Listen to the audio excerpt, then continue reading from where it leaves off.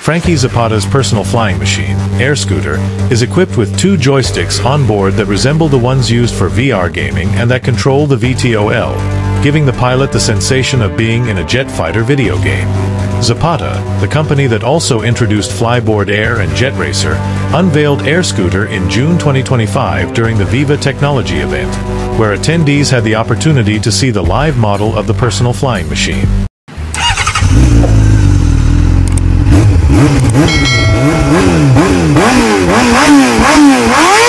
Looking at the design, Air Scooter features six rotors extending from its body, forming a pinwheel style. This design is intended to facilitate easy vertical takeoff and landing, VTOL. Each rotor is equipped with twin sharp blades, and they are not enclosed so caution must be observed. Zapata indicates that the personal flying machine and VTOL would be powered by a hybrid electric propulsion system that could provide a longer flight time than any other VTOL in the market, as stated by Zapata.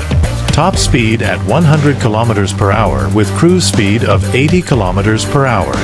The VTOL air scooter by Zapata is generous in giving the pilot scenic views from the inside. Its egg-shaped body makes it easy for the design team to opt for panoramic glass around the front part of the personal flying machine. It might entail that looking up, down, and sideways from the VTOL may feel as if the pilot were soaring high without barriers. Inside Air Scooter, the cushioned seat has safety belts, and as soon as the pilot sits down, they can navigate the personal aircraft using the console-like joysticks in front of them. While the full specs are yet to be disclosed, Zapata shares that the VTOL Air Scooter could have a flight time of up to almost two hours. Its potential top speed is at 100 kilometers per hour with a cruise speed of 80 kilometers per hour.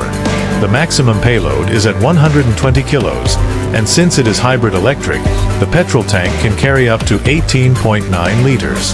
The personal flying machine, whose mass market release may still be up in the air, is dubbed compliant with the Federal Aviation Authority regulations and can be flown without a pilot's license in the U.S. as an ultralight aircraft. For the latest information, stay tuned for Mita Moto.